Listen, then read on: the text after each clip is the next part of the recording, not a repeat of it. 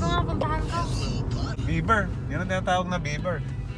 Puntahan ko. Babayin mo. Di Hindi mo ba siya ako- lalapit ha. Beaver Max oh. Hindi Ang ako anin na yun. Hindi. Max, ang cute. Max, gamitin mo ang iPad. What's that? Ang laki naman daga. Daga ba to? Dagaya ay beaver. Ah. Video ka sa tabi niya. Ayoko. Akin mo. Max, ang beaver. Ang laki oh. Lumapit ka pa. Bilis. Ako na lang, ako na lang. Baka Ako may, na. may car na kasi. Wala yan. Tignan mo kung gaano kalaki yung beaver. Laki-laki niya. Beaver! Bulag yata siya eh. Hoy, huwag nga ganyanin.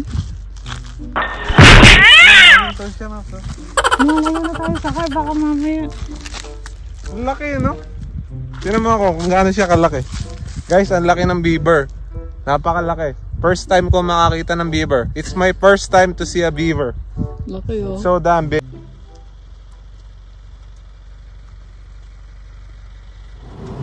May sa mga tira.